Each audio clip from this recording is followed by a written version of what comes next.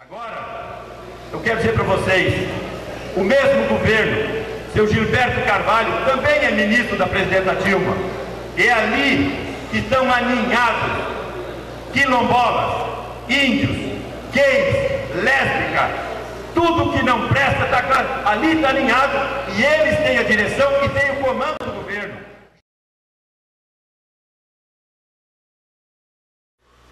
Por que será que de uma hora para outra que demarcar terra de índios e quilombolas?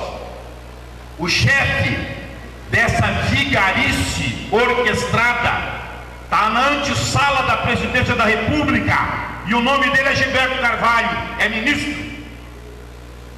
Ele e seu Paulo Maltos, por trás desta baderna, esta vigarice, está o CIMI, que é uma organização que uma organização, organização cristã, não tem nada, está a serviço da inteligência norte-americana e europeia, para não permitir a expansão das fronteiras agrícolas do Brasil.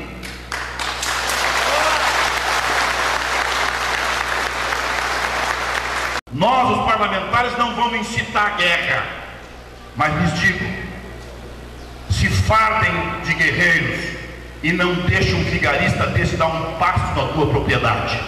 Nenhum! Nenhum! Usem todo tipo de rede, todo mundo tem telefone, liguem um para o outro imediatamente, reúnam verdadeiras multidões e expulsem do jeito que for necessário. Se nós não fizermos nada, se vocês ficarem de braço cruzado, o que, é que vai acontecer? Então, pessoal, o que, é que está fazendo, o que, é que estão fazendo os produtores do Pará? No Pará, eles contrataram segurança privada. Ninguém invade no Pará, porque a brigada militar não lhes dá guarida lá e eles têm que fazer a defesa das suas propriedades. Por isso, pessoal, só tem um jeito: se defendam.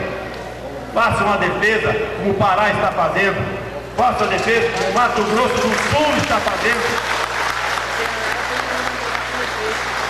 Os índios invadiram a propriedade, foram corridos da propriedade.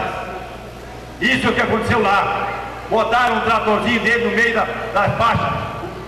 A, a, defesa dos produtores tirou o trator e desobstruiu a faixa.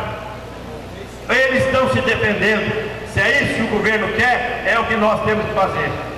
Resolvemos o Sem Terra lá em 2000 e vamos resolver os índios agora, não interessa o tempo que seja.